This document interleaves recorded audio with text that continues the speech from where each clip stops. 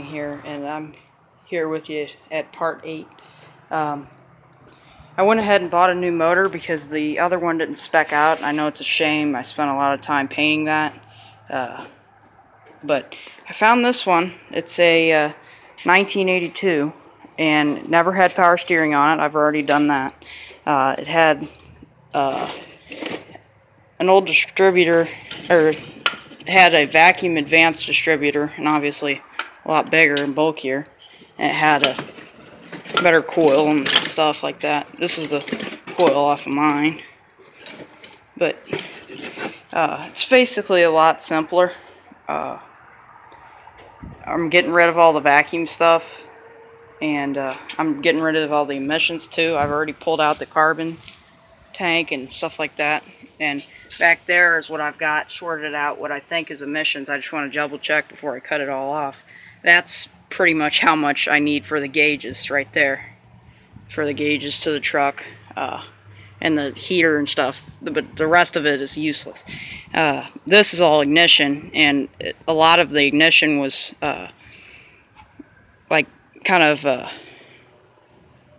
sunk into the vacuum sensors and stuff which is really annoying. So I gotta go through that and repair everything because all that's messed up. But I got this for an extra 50 bucks, this carburetor.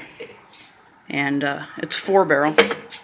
Oh, and this intake, it's actually 1996 Ford inline six truck intake with fuel injectors.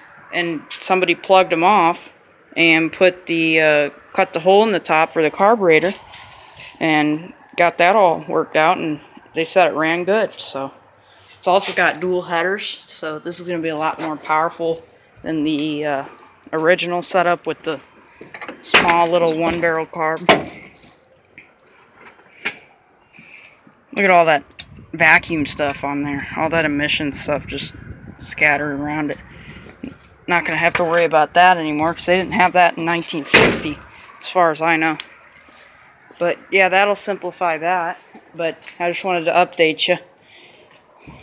Probably wondered what was going on. But I'm also going to cut this off for the smog pump or just leave it and not worry about it.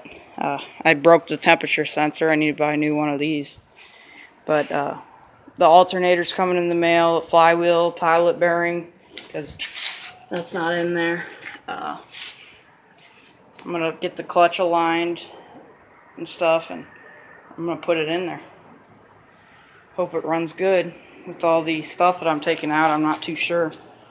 But it, I, when I was getting the uh, thing timed and I put the towel in there to test whether it was on its compression stroke or not, I, the thing probably flew out about 10 feet. It would have if there wasn't a wall there.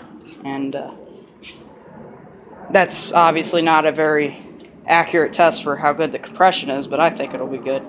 So definitely going to run a lot better than the last one with all the stuff that they did to that.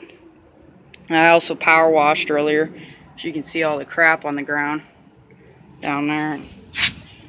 That's how much stuff came out of here that was bad.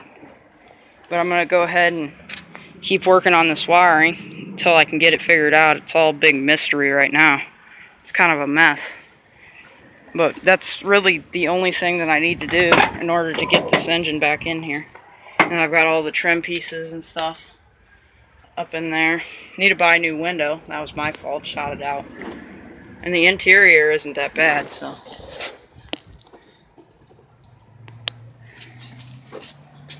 Would have ended up spending way more money than we needed to on that other stuff, whereas we spent $250 on this engine, which comes like that. So it's not really that hard to put some exhaust on it and hook up the things that need to be, like it only took me a couple hours to sort that out. It's a shame to see that people just rattle can this without sanding it down, whereas I spent hours and hours sandblasting mine. it's kind of a shame, but it, oh well, I'm not going to do that again definitely not taking this one apart. If it runs, it runs, and it's going to stay in this truck. But I just wanted to update you.